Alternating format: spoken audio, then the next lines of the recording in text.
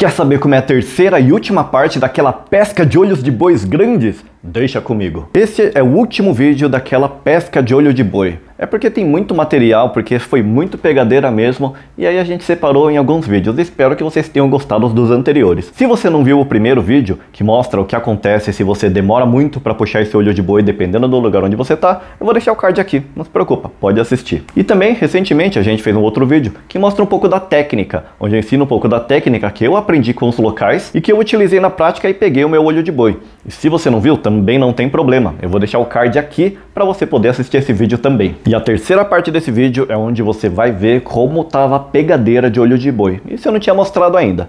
Então vem comigo e vamos ver a terceira e última parte da pescaria do olho de boi gigante. Nessa última parte do vídeo, vou mostrar aqui pegando um olho de boi outro, mas principalmente também a parte que tá todo mundo pegando. Vocês vão ver que até o meu sobrinho de 10 anos tava lá puxando olho de boi grande. Ele puxou três olhos de bois muito grande. Eu nem sei se é o plural, olhos de bois, olho de bois, olhos de bois, não sei. E tinha muitas horas no barco que tava todo mundo engatado. Cinco varas engatadas de olho de boi grande e todo mundo ali na maior bagunça. O incrível é como não teve nenhum enrosco. Então realmente a equipe que tava com a gente era muito experiente. Que ele falava, passa por baixo de um, passa por cima do outro, agora vem para cá, agora vai para trás, vai para frente. E todo mundo pescava na polpa do barco, a parte de trás do barco. Isso foi muito interessante. Como é que ficam cinco linhas em 60 metros de profundidade, brigando com um peixe de 10 a 20 quilos e todo mundo ao mesmo tempo e nem enrosca nenhuma vez. Parabéns para a equipe que estava com a gente. E sim, eu comentei que meu sobrinho de 10 anos pegou três olhos de bois grandes só que ele também não ficou puxando, senão ele ia ser levado pra água. Inclusive, vários momentos que eu tava ali com olho de boi grande ou com um tubarão, eu ficava com medo do equipamento ir pra água. Ele não podia ser amarrado na pessoa, senão era capaz da pessoa ir lá. Imagina aquele mar cheio de tubarão touro e você cai na água, todo mundo com fome. Então o que fizeram para ele foi uma estratégia interessante, que eu já vi em muitos vídeos. Eles pegaram um molinete de menor gear ratio, ou seja, de maior potência, deixaram ele preso ali e meu sobrinho só ficou recolhendo. Isso você consegue fazer se você tem aqueles molinetes com gear ratio muito baixo. E muito baixo, às vezes até abaixo de 4.0. Que aí você não sai da primeira marcha do molinete, ele vai recolher muito pouco, só que você vai conseguir recolher praticamente aqui, ó, e não vai estragar o molinete. Porém, lembrando, se você tá com um gear ratio normal, acima de 4.5 ponto alguma coisa, faz o trabalho, não vai estragar seu equipamento. Puxa o peixe, desce enrolando, puxa o peixe, desce enrolando, não puxa muito alto, senão pode quebrar a ponta da vara. E também não perde velocidade para você afrouxar a linha e deixar o peixe escapar. Pesca tem muita técnica.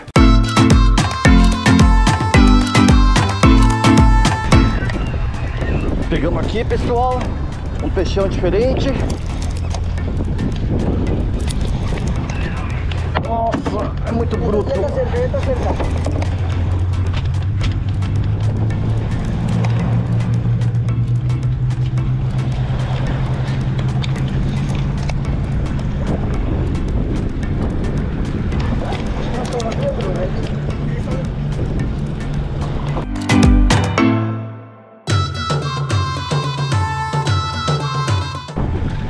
Olha, é FG nó.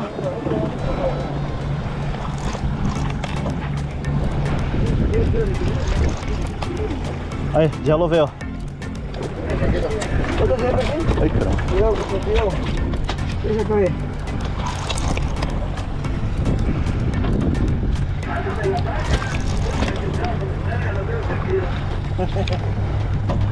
¿Llegó? Já, ¿Lo ves? lovei, já. Bien, entonces. Olha pra ver aí.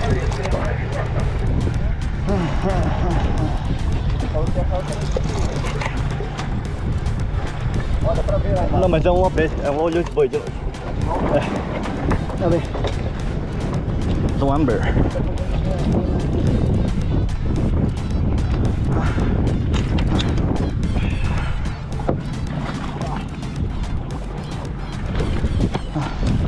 Aí, pessoal, esse aqui é o filhotinho. Filhotinho de 5 a 10 quilos. Deixa eu ver. Ah, ok, graças. Descansa. Sim.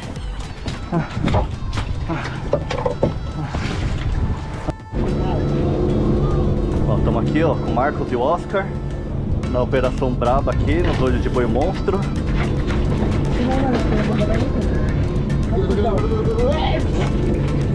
Dá-me esse. Ok. Ai, eu não ia pegar, mas... Tem outro também, caramba. Amigo, tienes que pasar abajo. Pasa abajo. Ah, ok. Cuidado, agarra la caña. Agarra nudo la caña, por favor. Ok. Amigo. Ah, Vente, vente. Toma este, toma este. Toma, Rafa. Ah. No, está seguro, no, no, no, no. Ahí está, ay,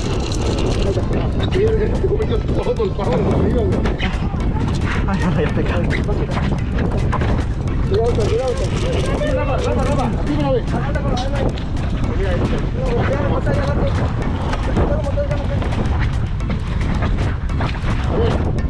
Pásate. Ya vale, voy a caer. Abajo. Abajo. Arriba.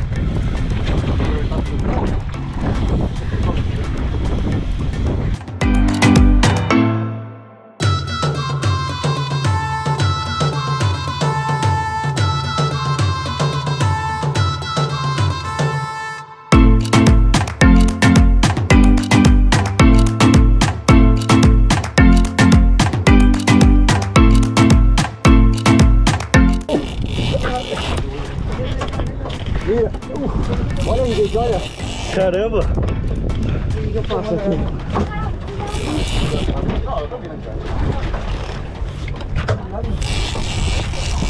Sangre vas a tomar café leche.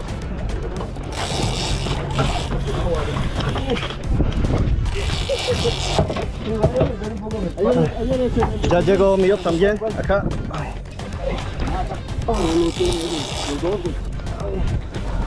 Oh, gente. Oi. Línea nomás. Ok.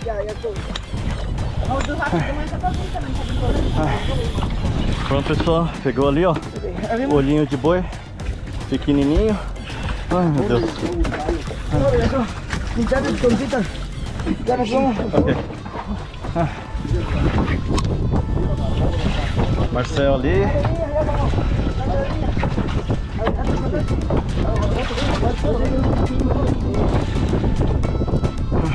Dessa vez o tubarão não comeu nossos peixes. Olha esse do Marcel. Ô louco, o do Marcel é muito grande. Vamos. Descansa, Sim, sim, vamos descansar um pouquinho. Voy, voy, voy. Oh, mira, me está dando la caña. Eso. Descansa. ¿Dónde está?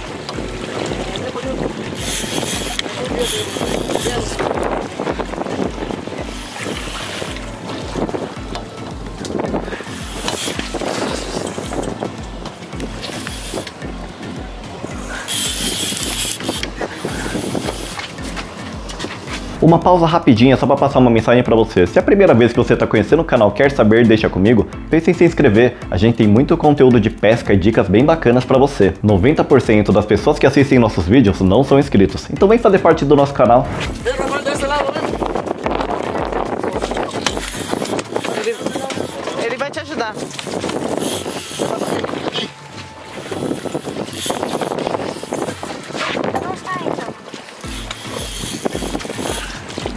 Ven, Rafael, yo te ayudo. Dale, Rafa. Dale, Rafa.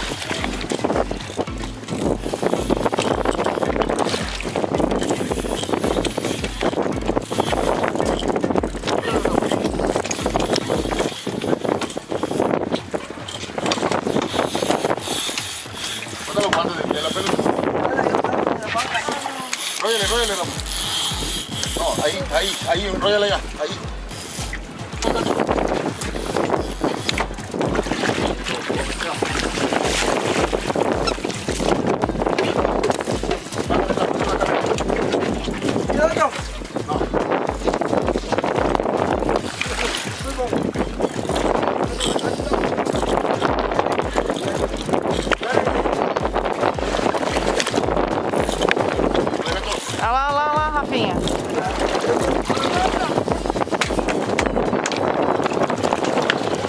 E aí, o que você achou da última parte da pesca de olho de boi? Muito legal, né? E você viu que não dava nem tempo de descansar. Eu tinha lá puxado dois peixes e falava, meu, não aguento mais, meu braço tá morrendo, vou ter cãibra e tudo. E o cara falava, ah, então tá bom, descansa e senta aí. Ele ia lá, armava cinco varas e a cinco, pum.